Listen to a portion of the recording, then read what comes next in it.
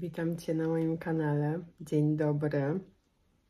Nazywam się Joanna Radwan. Kochani, w przestrzeń, w jakiej się poruszam w internetach, to jest wielkie tak. Możesz mnie znaleźć na blogu lub na Facebooku pod tą nazwą właśnie Wielkie Tak. Hmm.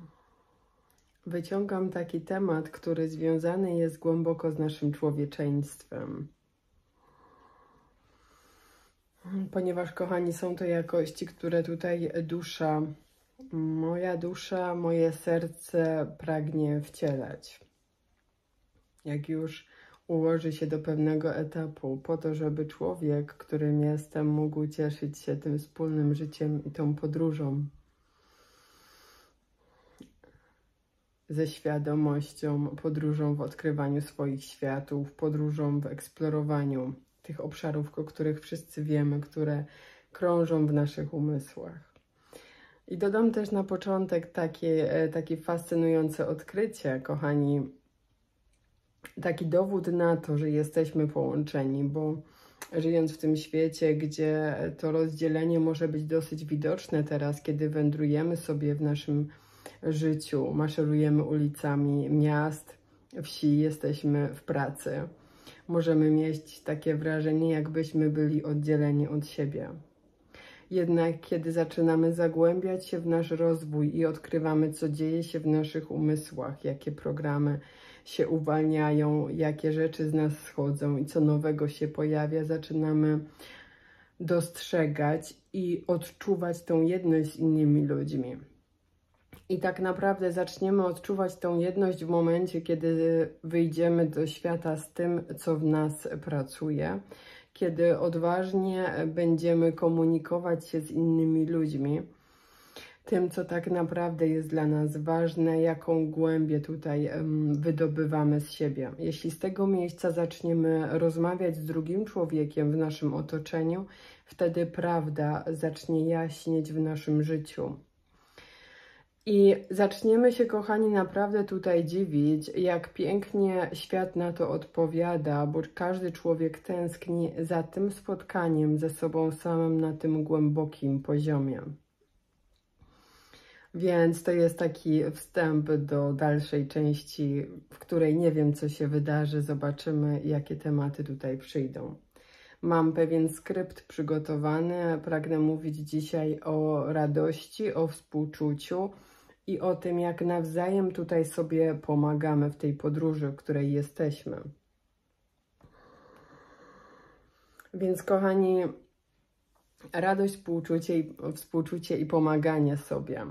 Treści, kochani, jakie teraz poruszam, dotyczą e, etapu integracji, kiedy kiedy wciela się w nas jakość duszy, kiedy zaczynamy doświadczać życia w tych głębszych jakościach, w tym byciu z większą gracją, kiedy zaczynamy siebie traktować z większą miłością, wtedy można powiedzieć, że zaczynamy doświadczać jakości duszy w naszym życiu.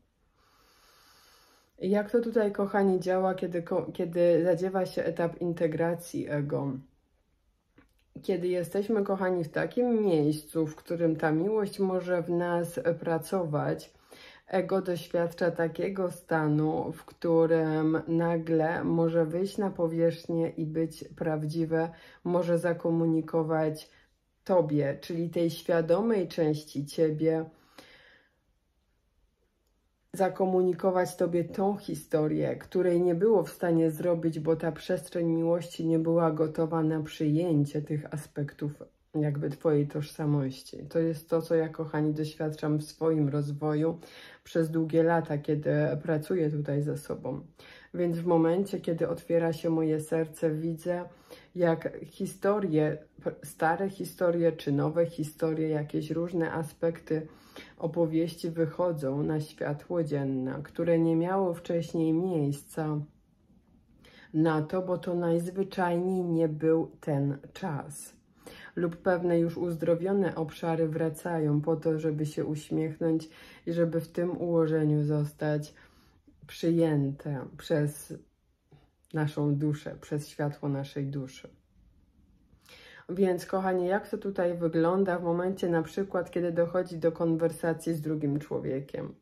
Kiedy spotykam się z duszą, naprawdę z drugim człowiekiem, który duszą, która czuje życie, która przeszła swoje i rozumie świat. I zaczynam komunikować się, rozmawiać normalnie o swoim życiu Zaczynają ze mnie wychodzić tematy takie jak na przykład samotność, której nie byłam świadoma na takim głębokim poziomie. Nie byłam świadoma, że ten temat dalej jest żywy i aktywny we mnie do tego stopnia, że nawet się wzruszyłam w obecności tej pięknej duszy. Ta rozmowa trwała kilka dni temu, odbyła się kilka dni temu. Więc właśnie te aspekty mojej tożsamości, które dalej dalej odczuwają tą samotność, miały okazję wyjść na powierzchnię. I co się dzieje, kochani, kiedy drugi człowiek przychodzi do ciebie z takiego współczucia i komunikuje ci, że to jest nie w porządku, ja się nie zgadzam na, ten, na, na to, żeby tak było w twoim życiu, to stara ja powiedziałaby w ten sposób, ale to jest ok, to jest część mojej lekcji, to jest moja praca duchowa, żeby to uzdrowić. Przecież nie jesteśmy tu sami. I cały ten ciąg tych duchowych mm, opowieści, które można sobie tutaj przykleić. Natomiast nowa ja już, już, już była w takim miejscu, że po prostu się wzruszyła tym komunikatem, że została zobaczona, czyli ta część mnie została uznana i zobaczona a ja byłam gotowa na to, żeby nie tworzyć już dalej wokół tego historii o tej samotności, po to tylko, żeby uniknąć kontaktu, bezpośredniego kontaktu z tym miejscem i spotkania się ze sobą w tym miejscu. Mam nadzieję, że jest to do przyjęcia, do zrozumienia dla Ciebie, bo to jest ważny aspekt uzdrowienia. Jest to, kochani, taka część jakby naszego rozwoju, która, którą ja nazywam uzdrowieniem i integracją. Czyli jest to autentyczne spotkanie się z żywym, z, tym, z tą żywą historią, która w nas pracuje. I w ten sposób ona może zostać przyjęta przez Ciebie, więc Ty zostajesz przyjęta, Ty zostajesz przyjęty w tym. I to jest właśnie piękne, kiedy ludzie świadomi, którzy są wokół nas, potrafią autentycznie zobaczyć nas, nasz ból. I również są świadomi duchowej podróży i tego wyższego planu, jak to działa. Ale są świadomi tego, że jesteśmy tutaj ludźmi, jesteśmy tutaj w naszych ciałach i przechodzimy ten proces integracji. Więc w ten sposób uzdrawiamy siebie nawzajem, wydobywając z naszych ciał te opowieści, które wydobywamy, kiedy rozmawiamy ze sobą. I kiedy jesteśmy tego świadomi i autentycznie otwieramy nasze serce, wtedy ta historia ma szansę wyjść na powierzchnię. Ma histo ta historia ma szansę wyjść i uwolnić się z naszego ciała bo nasza świadoma obecność stwarza tutaj przestrzeń do uzdrowienia. Więc to, kochani, dzieje się, kiedy zaczynamy doświadczać tego, tego etapu integracji, który łączy się z uzdrowieniem, jak uwalniamy różne aspekty z naszego ciała, jak autentycznie uwalniamy się z tego bagażu, z tego ciężaru emocjonalnego i później przechodzimy etap integracji. A integracja może się zadziać w momencie, kiedy uznamy siebie w tym, przez co przechodzimy. I dlatego teraz, kochani, te czasy, które są, są takie zapraszające do tego kontaktu z drugim człowiekiem, do bycia z drugim człowiekiem, do wydobywania z siebie samych i z innych ludzi tych aspektów, które przeczuwamy, które czujemy, które widzimy do pokazania swojej autentyczności, bo wtedy my również doświadczamy uzdrowienia, kiedy pozwalamy sobie na to, żeby być autentyczni, bo każdy z nas, kochani, przechodzi przez to samo. Na swój własny sposób, tak jak mamy tutaj bardzo unikatowe podejście do rzeczy i do tego, do tego życia czy rozwoju. Mamy bardzo unikatowe spojrzenie na ten szerszy plan. Każdy z nas to jednak wiemy, że przechodzimy tutaj przez to samo, każdy po swojemu. Więc to jest taka część historii z mojego życia i takie też zaproszenie do tego, żeby pokazać Ci, w jaki sposób tutaj pracuje świadomość przez nas wszystkich, jak to, co ma szansę wyjść, zadziewa się w nas. Kiedy nie dokładamy żadnej historii, ale pozwalamy człowiekowi autentycznie spotkać się z jego tęsknotą, z jego historią, z jego bólem i zatrzymujemy się tutaj. I chociaż możemy nawet za, zauważyć, ja zauważam, bo ja też widzę, kochani, w jakich miejscach tutaj dusze pracują. Więc miałam też spotkanie z piękną duszą, która przeżywała trudny moment i dzieliła się tym ze mną. I widziałam również w tym spojrzeniu nadzieję na to uwolnienie taki głód tego, zabierz mnie stamtąd. Jest to, kochani, takie, takie już miejsce, które jest gotowe do uzdrowienia. Więc tutaj trzeba takiej, takiej wewnętrznego zaufania do siebie, w jaki sposób rozmawiać z człowiekiem, bo to, co jest do uzdrowienia, kiedy stworzymy na to przestrzeń i wyczujemy, że druga strona po prostu potrzebuje być zobaczona i usłyszana, pozwólmy na to.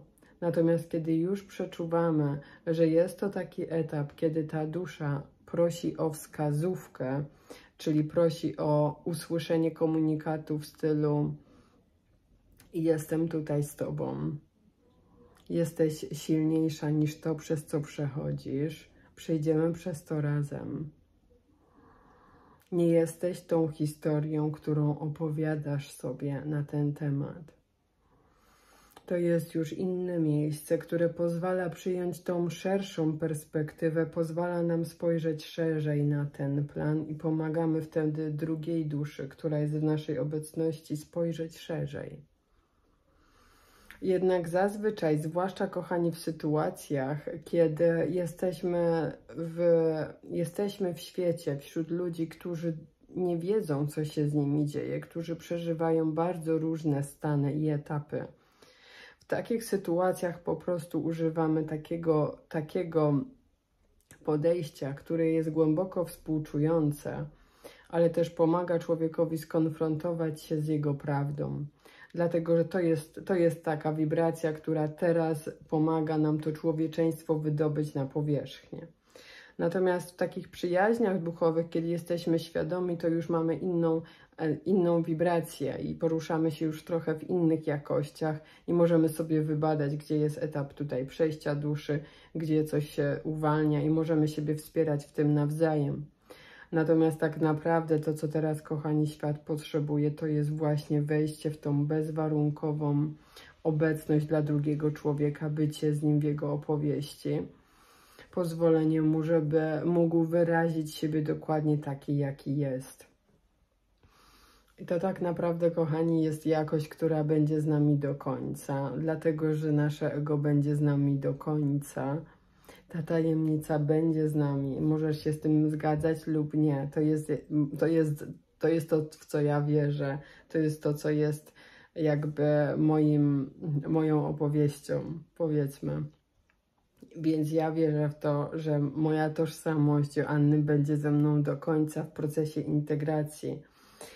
I teraz, kochani, kierując się do współczucia, jakości współczucia, dlatego że byłam kiedyś w takim miejscu, w którym nie byłam gotowa przyjąć tego współczucia, i każdy sygnał ze strony świata czy innych ludzi, który dotykał tych jakości we mnie, czyli ludzi, którzy wysyłali mi współczucie, odnośnie mojej historii czy tego, co przeszłam w życiu, był dla mnie odczytywany jako słabość, czyli nie umiałam przyjąć współczucia, odbierałam to jako litość i czułam, że zabiera mi to moc. Jednak mogło mi to zabierać, kochani, moc tylko wtedy, kiedy czułam się ofiarą tych zdarzeń, które wydarzyły się w moim życiu. I tutaj sobie oddycham do, te, do tego, dlatego że głęboko pragnę, aby ta treść została zrozumiana i przyjęta przez Twój świadomy umysł. W momencie, kiedy jesteś w stanie przyjąć współczucie prawdziwie w swojej duszy, Oznacza to, że znika przywiązanie do historii, która spowodowała to, że wcześniej nie byłaś, nie byłeś gotowy na przyjęcie tego współczucia. Tak więc przywiązanie do historii zaczyna się rozpuszczać. Przywiązanie do tego, że jesteśmy ofiarami, zaczyna się rozpuszczać. I tutaj, kochani, pojawia się miejsce na to, żeby dusza mogła otworzyć się i przyjąć współczucie poprzez Twoje ciało. I w ten sposób Twoje fizyczne ciało doświadcza wyzwolenia poprzez spotkanie się z tym miejscem. Więc ten etap, o którym mówię, miał prawo być, bo to są, kochani, etapy, które tutaj przechodzi, przechodzimy w miarę jak dojrzewamy do tej świadomości, jaka się w nas budzi. Więc ten etap, w którym ja doświadczałam oporu przed przyjęciem miłości, współczucia ze strony świata, był potrzebny, dlatego że moje przywiązanie do historii sprawiało, że każdą oznakę współczucia odbierałam w taki sposób, który potwierdzał to, że zrobiłam coś źle, że coś jest ze mną nie w porządku, że ja nie zasługuję. Więc te, jakby ten etap historii potwierał się jeszcze bardziej. Więc nie umiałam przyjąć, te, przyjąć tego współczucia z poziomu duszy. I kiedy teraz przechodzimy na drugie miejsce, i kiedy teraz dusza tak łagodniej przechodzi już na to miejsce, w którym to przywiązanie do historii zaczyna się rozpuszczać. Tutaj dzieje się taka magia, której to współczucie zostaje przyjęte. Ono zostaje przyjęte do ciała, do tej historii, do tej tożsamości, jeśli się pojawia z zewnątrz. Dlatego, że jak przyjmuje to dusza, jest tutaj wtedy świadomość tego, że dzieje się to na szerszym planie że moje ciało jest po prostu narzędziem, które jest tutaj wykorzystywane do tego, żeby przeszło transformację dla tego, co wszyscy tutaj doświadczamy. I jeśli jest to moja osobista historia, która nadal boli, to kiedy już jest świadomość duszy, jakby obecna, kiedy dusza jest przy tym, dzieje się to z zupełnie innego miejsca. I tutaj można otwierać się na to, żeby ciało doświadczało tego wyzwolenia, spotkania z miłością, spotkania z czułością. Ciało fizyczne, nasza fizyczna forma, połączona z naszym umysłem. Więc kiedy już jesteśmy kochani w tym miejscu, możesz sobie zobaczyć, w jakim miejscu ty jesteś teraz. Czy dalej jest w tobie walka i lęk przed tym, żeby przyjąć tą miłość i współczucie ze świata? bo boisz się, że to zatrzymacie w Twojej historii. Weź wtedy do tego wdech i wydech, bo kiedy możesz to teraz zobaczyć, z jakiego miejsca to pracowało, już teraz Twoje ciało doświadczy ulgi. Bo pozwolisz sobie zobaczyć na to miejsce z poziomu szerszego, głębszego planu i uznasz, że współczucie, które otrzymujesz, jest piękną jakością duszy, która uzdrawia Twoje serce Twoje ciało i dotyka wszystkich serc i wszystkich ciał.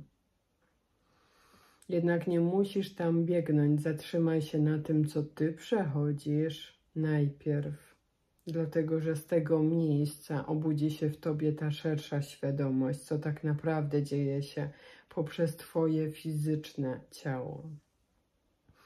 Więc teraz, kochani, Joanna przyjmuje to współczucie, jeśli wydarzy się sytuacja, w której potrzebuje tego współczucia. Uczę się nadal przyjmować, jednak jest już coraz lepiej. Przyjmuję to współczucie do mojego serca, wysyłam do tych miejsc, które otwierają się, które uzdrawiają się w tym, na co mogę spojrzeć.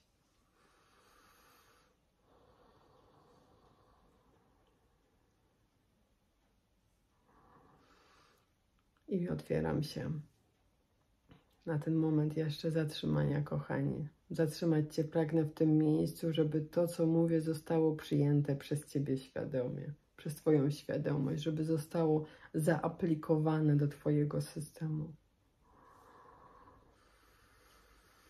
I możesz powiedzieć do siebie na głos. Zgadzam się na przyjęcie współczucia. Otwieram się na przyjęcie współczucia przez te aspekty mnie, które go potrzebują.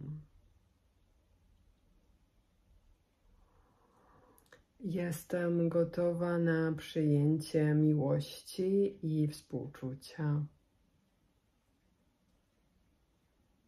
Jestem gotów na przyjęcie miłości i współczucia. Moje ciało również jest gotowe i z radością teraz mnie słucha. Więc poprzez moje ciało dzieje się teraz uzdrowienia. Zgoda na współczucie nie oznacza słabości. Jest to tak naprawdę pokazanie swojej wrażliwości, która jest mocą, która jest piękną jakością duszy.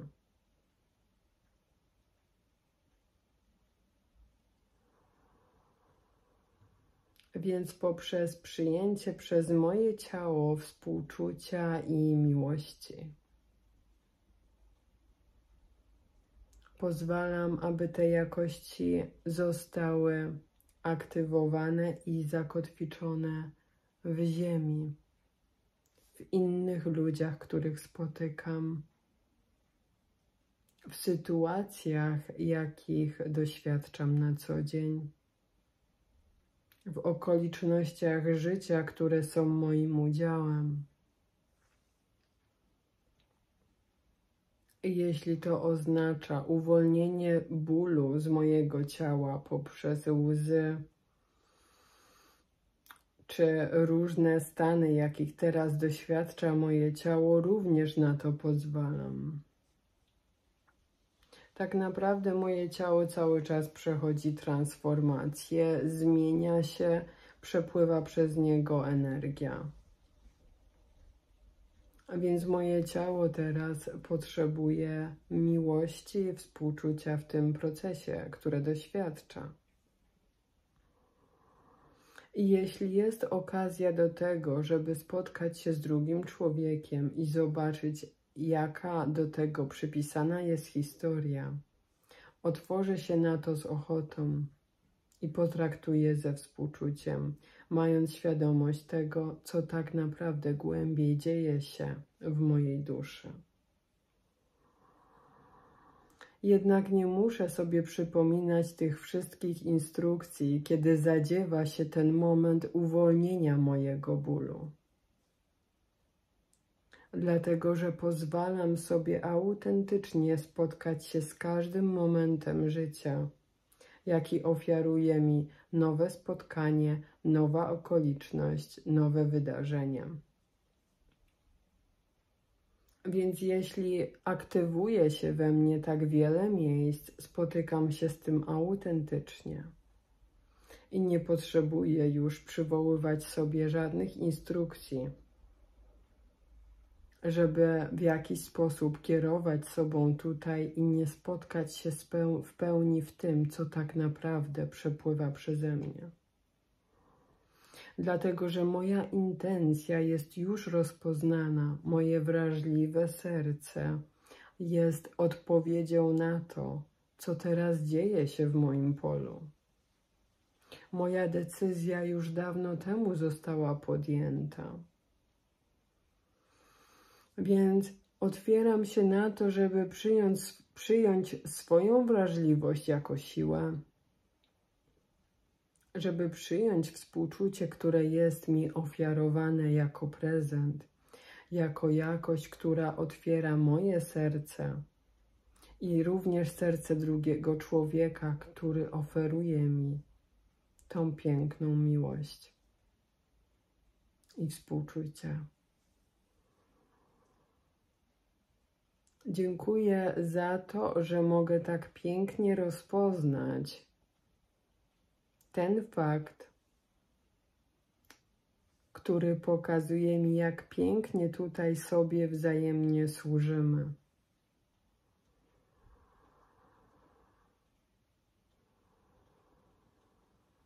I otwieram się na to, żeby eksplorować dalej ten obszar. Z radością idę dalej w ten dzień i spotykam się autentycznie z uśmiechem na twarzy z tym, co pokazuje mi każda nowa okoliczność. Kiedy pozwalam, żeby moje serce zostało otwarte, ono takie będzie. A ponieważ otwarte serce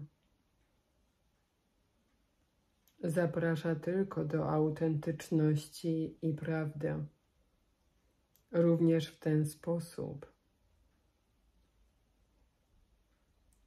żyję.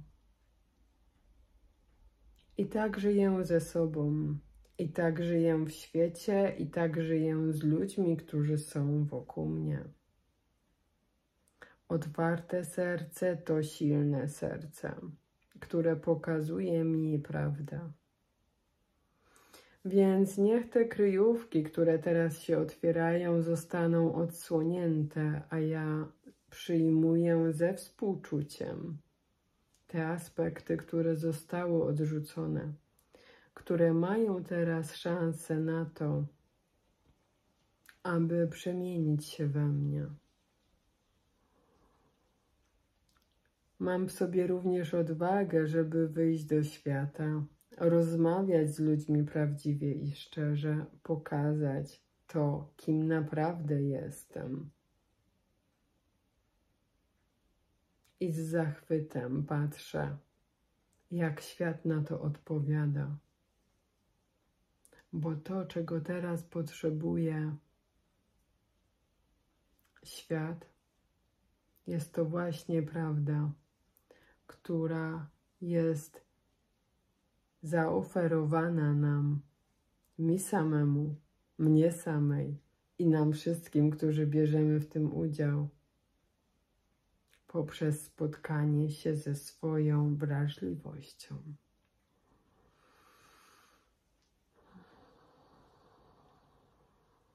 Możesz tutaj wziąć wdech do ciała i wydech.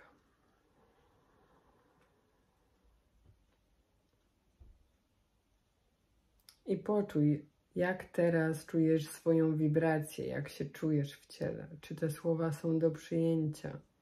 Czy Twoja świadomość rozumie, w jaki sposób to tutaj pracuje w nas? Sygnałem do tego, czy to działa, czy to, co teraz tutaj się dzieje, kochani, czy to te słowa, które zapraszają do tego, żeby powtarzać za mną, czy to tutaj działa dla Ciebie? Czy przynosi ulgę Twojemu sercu? Czy pozwala Ci czuć się dobrze w tym, przez co przechodzisz? Bo jeśli tak, to jest dobry kierunek. Kierunek, który nie odrzuca tego, co jest, ale przyjmuje to we wszystkim. I w ten sposób prawda, która pracuje w Tobie, będzie w Tobie eksplorowana i odkrywana stopniowo i dając sobie prawo do tego, żeby ją wyrażać na głos, żeby komunikować sobie samemu, poznać siebie w tej prawdzie, później wychodzić do świata z tym. Dajesz sobie prawo do tego, żeby drugi człowiek mógł Cię poznać właśnie w tej wersji rzeczywistości, za którą tak bardzo tęsknisz i w jaki sposób chcesz być postrzegany, postrzegana, bo każdy z nas tęskni za tymi jakościami i pragnie być zobaczony w ten sposób. To jest to coś, co, w co głęboko wierzę, kochani. Każdy z nas tęskni za tymi jakościami. I budowaliśmy sobie tutaj drogę do tego, żeby wzajemnie się w tym wspierać, żeby wzajemnie tutaj trzymać siebie w tym za rękę i żeby mieć odwagę do tego, żeby naprawdę spotkać się w prawdzie ze sobą czyli otworzyć się na swoją wrażliwość i mówić rzeczy, jakimi są. szczególnie w relacjach, które są dla nas ważne, istotne, zaczynając od relacji ze samą sobą, w ciszy swojego własnego serca, w prawdzie ze swoimi emocjami i z tym, czego doświadczamy na dany moment naszego życia. Kiedy mamy odwagę do tego, żeby autentycznie spotkać się z każdą emocją, żeby na głos wypowiedzieć wszystkie żale, czy to do lustra, czy napisać list, pozwolić sobie, żeby te emocje, które przeczuwamy w ciele, te negatywne emocje wyszły z nas, uznając je, nie starając się tego zatuszować, zamazać czy zagadać, uznać to, co w nas jest. To najcięższe i najtrudniejsze. Wtedy nasze serce naprawdę doświadczy tej ulgi, prawdziwej ulgi, prawdziwego wyzwolenia. Jest to taki moment. To jest taki moment ulgi dla naszego ciała, w którym jakby wchodzimy już w inną częstotliwość. Czyli jesteśmy w tej częstotliwości, gdzie odpoczywamy, gdzie możemy być naprawdę sobą. I później, jak wejdziemy w świat i jak będziemy to wdrażać w, na, w nasze życie, w relacjach, w których e, się poruszamy, czy to bliższych, czy dalszych, w naszej pracy, w naszych obowiązkach. Tak jak ja często to mówię, kochani, dlatego że uważam, że to jest ważne, żeby te jakości wcielać właśnie w nasze życie. To jest to, co teraz się dzieje. Kiedy zaczniemy to robić, zaczniemy sobie samym stwarzać przestrzeń do tego, żeby żyć już w tej nowej częstotliwości, żeby w ten sposób siebie samych postrzegać. I w ten sposób też będziemy odbierani przez świat, właśnie w tych jakościach. Jednak pamiętając o tej naturze, tej naturze, która tutaj żyje Twoje życie, tej naturze człowieczej, tej pierwotnej naturze, która również ma prawo tutaj wyrażać się, mieć emocje, być, być w swojej prawdzie, w swoich pomysłach na siebie, w ciemnościach, ideologiach. Te wszystkie części, kiedy one będą uznane, kiedy one będą miało prawo, miało prawo, miało prawy, kiedy one, kochani, dobra, wróćmy, bo mi się za, zająknęłam się. Kiedy te cząsteczki dostaną od Ciebie samego prawo do tego, żeby zaistnieć, wtedy to, co ma wydobyć się na powierzchnię, zostanie, zostanie Tobie objawione. I to nie jest, kochani, jakaś magia, taka kosmiczna magia, chociaż jest z jednej strony, ale jest to bardzo człowieczy proces, duszowy proces, wewnętrzny proces. Takim, takie miejsce, w którym po prostu pozostaje Ci nic, tylko kochać siebie w tym, przez co przechodzisz. Hmm. Niech się układa pięknie. Kończę tutaj, bo tak ma być, że mam już kończyć. Do następnego spotkania. Będę wdzięczna za komentarze. Hmm. I to tyle.